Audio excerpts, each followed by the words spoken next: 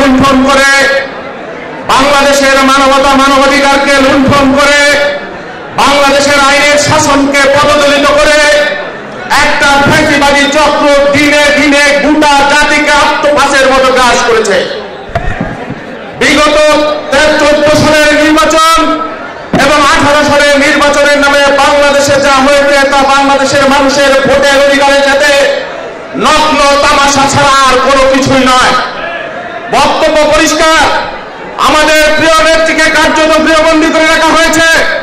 আমাদের ভারপ্রাপ্ত চেয়ারম্যানকে দেশে আসতে দেওয়া হচ্ছে না। এই অবস্থা বেশি দিন চলতে পারে না।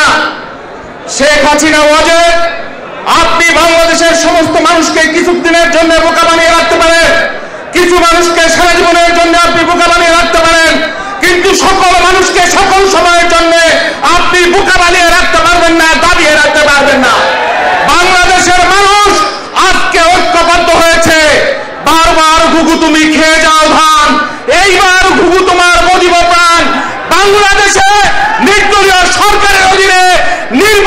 অনুষ্ঠিত হতে হবে, সেই নির্বাচন দিতে হবে।